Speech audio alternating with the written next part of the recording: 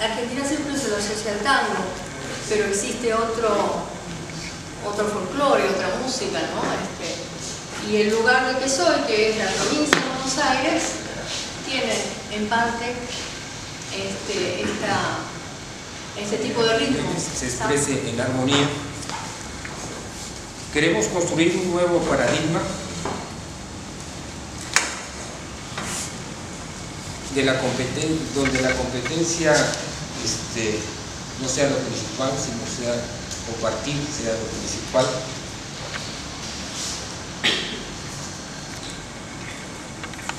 En, experimentar mutuas experiencias, en resumen, podemos decir que la columna vertebral que sostendrá este encuentro, de la ética y la filosofía de este encuentro, la hemos construido con pluralismo, respeto, libertad, veracidad, diálogo, solidaridad y servicio.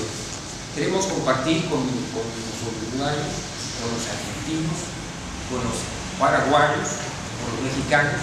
Creemos que este, antes de ser este, paraguayo, argentino, eh, somos eh, latinoamericanos, eso es lo, más importante. Y antes de ser este, latinoamericanos, somos seres humanos que podemos compartir experiencias en cuanto a la memoria, experiencias en cuanto a, nuestra manifestación artística, en este caso es la literatura y la música. Eh, quiero invitar a, las personalidades de, la Casa Roa Bastos a que nos acompañen e, inauguremos el encuentro. ¿Sí? Por favor, Jacinto, por favor. Eh, aquí tenemos al director de la casa, Osvaldo.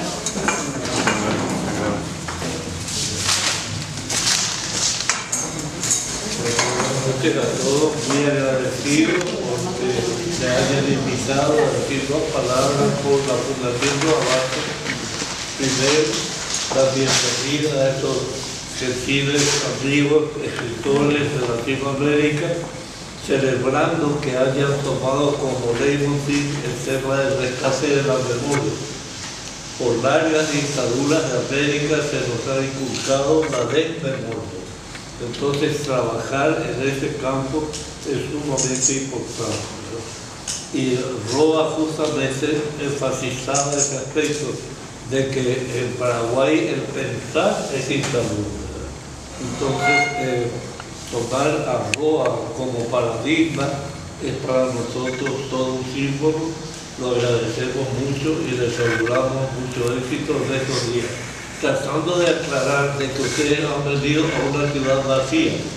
Por Semana Santa, el Paraguay o está en el oficio religioso o hace turismo fuera del país o la gente de clase media va al interior Así que se encuentra con una ciudad evacuada. La poca gente que tienen acá prácticamente son casi, puede decir, el remanente de los que no pudieron escaparse a tiempo. Y muchísimas gracias por su presencia.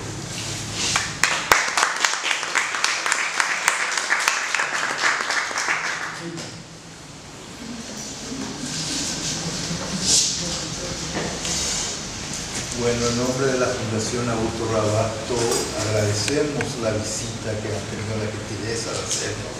Estamos muy felices de recibirlos. Eh, a pesar, como decía Ramiro, la ciudad está deshabitada. Pero aún así, bueno, eh, estamos aquí y estamos muy contentos de que hayan elegido. Sobre todo, como decía también Ramiro, el rescate de la memoria. Yo creo que América Latina ha perdido su memoria absolutamente. Y quien pierde su memoria, pierde su presente y pierde su futuro. Entonces, mientras no podamos rescatar nuestra propia memoria, nuestra propia historia, nuestros propios procesos que hemos vivido, no podemos pensar en el futuro.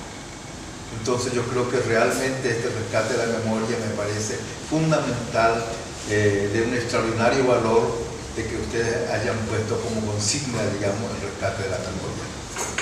Muchísimas gracias por la presencia y esperemos que les vaya muy bien en estos días. Eh,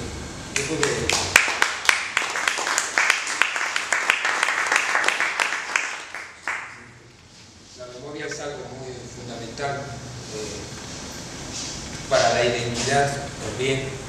Si no, si no este, somos capaces de recordar quiénes somos, no somos capaces de, de- de ser quienes somos. Eh, Augusto Roa Bastos fue un personaje que eh, dio muestra del rescate de la memoria. Eh, su, obra es este, un testimonio de, de la historia de Paraguay. Eh, por eso precisamente venimos aquí y creemos que cualquier día es este, importante. Escogimos estas fechas porque creemos que este, es cuando más tiempo tiene. Las actividades de todos, este, aquí no nada más es la literatura, también tienen otras actividades, yo creo. ¿sí? Y Semana Santa tiene que ver mucho, mucho con la memoria y con el futuro también. ¿sí?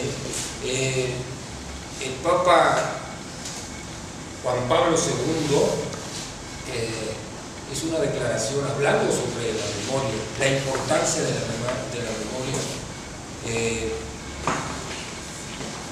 y qué bueno que la iglesia reconozca también, reconozca actualmente el, Papa, este, eh, yo creo que también sostiene eso. Eh, y bueno, siendo las siendo las 6.17, damos por inaugurado el encuentro de escritores latinoamericanos y del Caribe. Los invitamos a que acudan. Vamos a estar aquí este, 23, eh, 24, 25 y 26. Vamos a estar en la Biblioteca este, Nacional. Y le doy las gracias. Vamos a escuchar música, vamos a continuar escuchando música y después la presentación de un libro. Este, ¿Quieren continuar? Narraremos Pues historias gracias. que protagonizan gentes de un pequeño pueblo en el Paraguay, Itapé, a principios del siglo XX. Se refieren a la Guerra Grande, la ampliación del ferrocarril, el paso del cometa y la Guerra del Chaco. Son sus hilos conductores la pasión y el sufrimiento de los protagonistas y la dualidad de la cultura criolla e indígena. Historias que contaremos en palabras y en música. Las palabras son de Augusto Roa Bastos y la música de Agustín Vargas.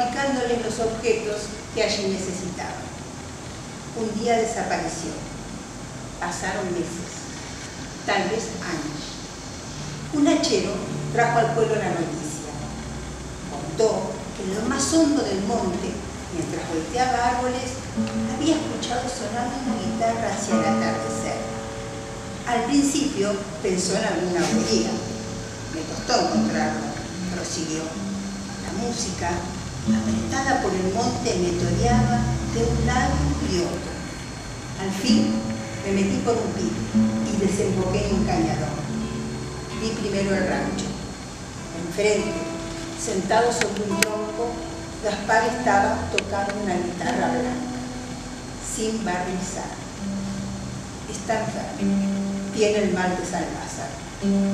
Una consternación general barrió las caras. El hachero contó que le tendió la mano y que el otro no se la tomó, diciéndole, no le doy la mano a nadie, solamente a esta, señaló el instrumento. A ella no la puedo contagiar. ¿Dónde está? preguntó Macario. No puedo contar, se defendió el hachero. Vas a contar, le convino el viejo. Tenemos que ir a buscarlo. Le juré sobre el hacha que no diría nada. Gaspar quiere estar solo. María Rosa abandonó el ruedo. Mientras los demás se quedaban discutiendo, ella se fue a su rancho. Puso en una canasta varias argollas de chipá y bastimentos y se encaminó hacia el monte. Ella sabía dónde trabajaba el hachero. Al día siguiente, el grupo encabezado por Macario se cruzó con ella, venía de regreso. La detuvieron en la picada. Se negó a hablar. Volvía cambiada, con el rostro de una sonámbula. Entonces, a partir de ese momento, de tarde en tarde, una pequeña procesión peregrinaba furtivamente hasta Abra. Un silencioso recogimiento escuchaba la oración reprosa. Procuraba no hacer el menor ruido, porque a veces una ramita que se rompía bastaba para quebrar también la música. Semejaban sombras suspendidas entre el follaje. Miraban la choza vacía, el abra desierta, corralada por la selva, pero él no estaba.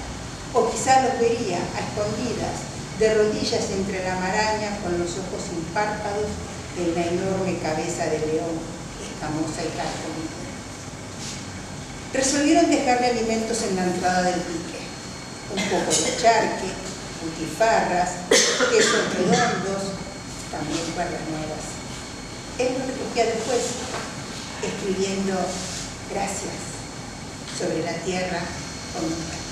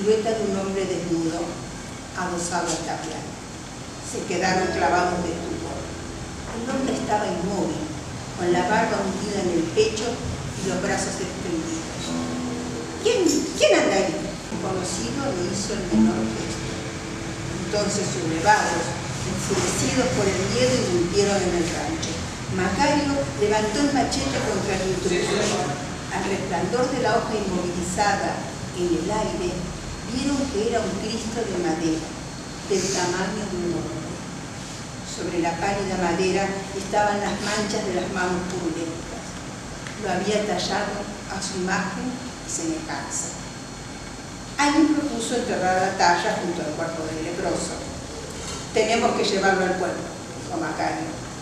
Es la obra de un nazariento, dijo el cura. La casa de Dios debe estar siempre limpia. ¡A quemarla! ¡A quemarla! gritaron muchos de acuerdo con el cura. Varios puñales y machetes empezaron a centellar bajo el sol, rodeando y protegiendo a Macario en su retirada con el Cristo a cuestas. Los estudios posteriores fueron la razón por la cual la curia finalmente cedió, permitiendo bendecir la imagen. El país Maíz predicó que el Hijo de Dios, en su infinita humildad, había permitido que su imagen naciera de las manos de un leproso, como dos mil años antes quiso nacer en el desierto.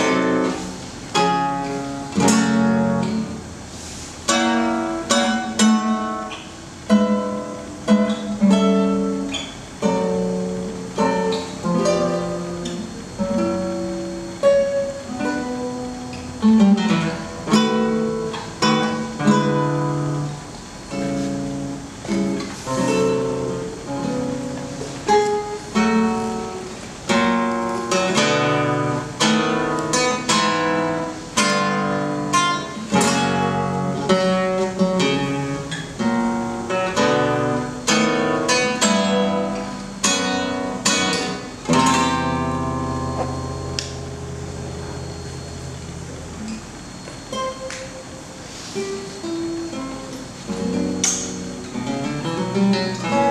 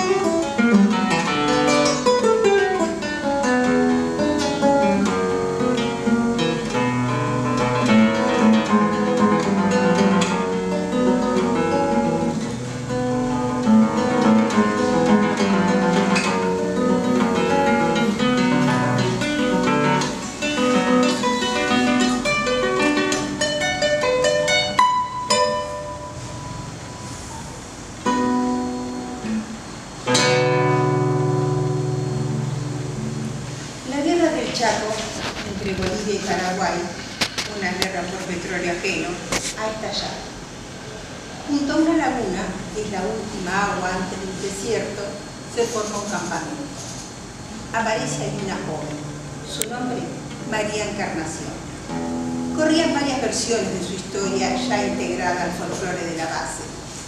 Se decía que la esposa de un oficial la había traído como niñera y que luego la echó porque, bueno, aquí se entreveraban las cosas. Y su fama de aventurera surgió precisamente de su presencia de traje inútil arrojado a un costado del campamento, con toda esa belleza tan bien inútil y demasiado infantil para corromperse en una guarnición. Si se le preguntaba cómo estaba allí, salía a decir, vine a ver la farra y me quedé. Cuando se estaba formando el barrio bajo, cerca de la laguna, supo agenciarse la choza de pintor y adobe. Ella no tenía más que su única popularidad que iba creciendo en el ranchito a oscuras, a orilla del agua. El viento del desierto, al enfriarse, removía la estera que hacía de puerta y la arañaba con un rumor de dedos secos. Sombras y esperaban su turno ante la estera, bajo la luna, ocultándose entre los yuyos del paso de la ronda. Pero el de la ronda llegaba también.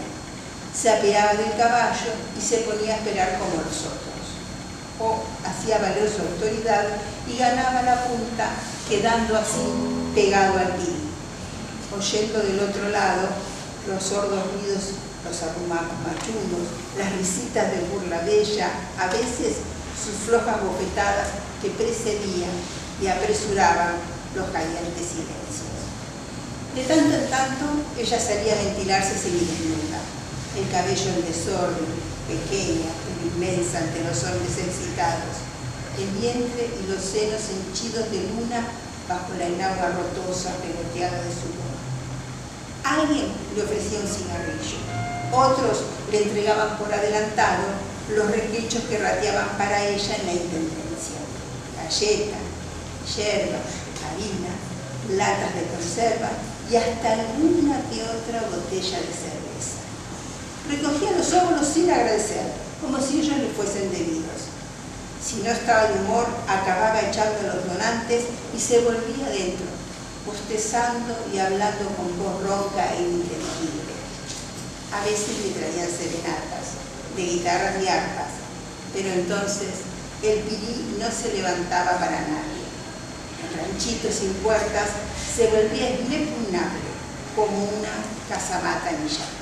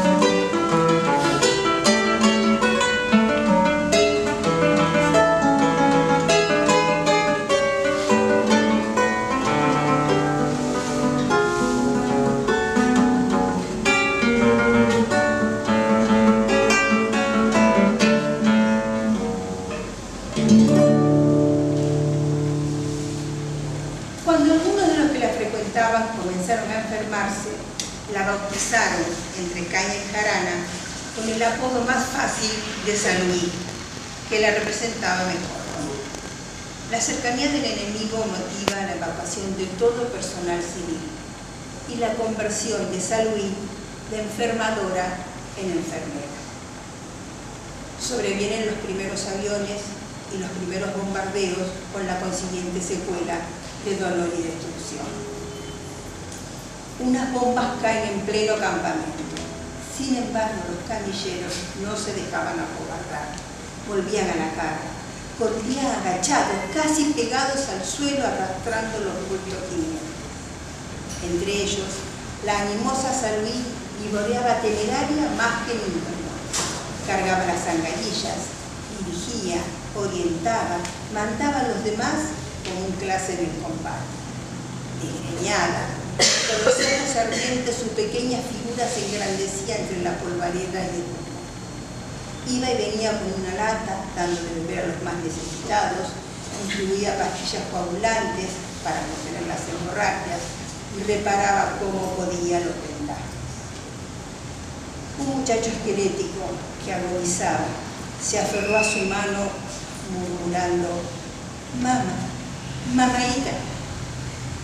Ella cerró los ojos. Desde el fondo de la muerte alguien la llamaba con ese nombre para ella fabuloso. La garra de hueso y piel se aflojó. Sustrajo su mano lentamente, bajó los párpados sobre los glóbulos vidriosos y rápidamente.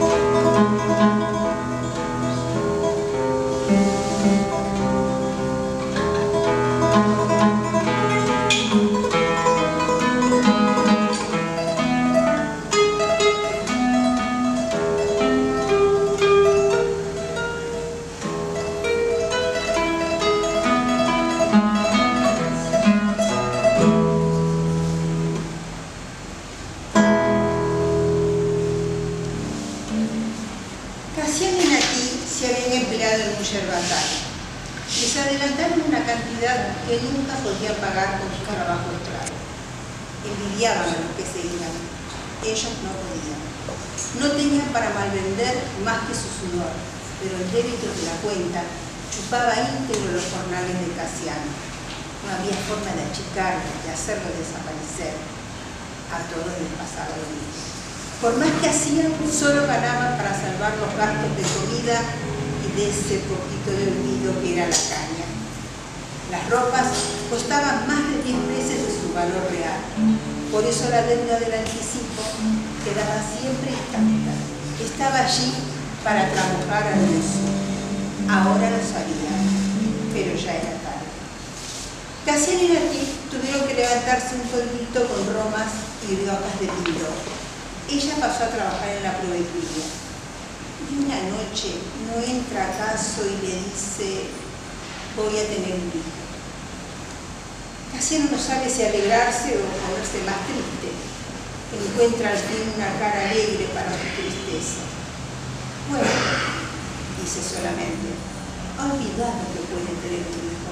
A buena hora le daban la noticia. Sin embargo, debe de ser bueno un hijo. La sangre se lo dice con ese nudo en la garganta que no lo deja hablar. Debe de ser bueno, aunque sea allí, en Tapurucucú, donde solo las cruces jalonan las picadas. Ve sobre los carbones los ojos oscuros de Natí, enredados en ese misterio que está germinando en ella. Lo único eterno que pueden hacer un hombre y una mujer sobre la tierra, aunque sea en tierra de cementerio. Entonces dice, ahora hay que pelear por él. Sí, responde Natí.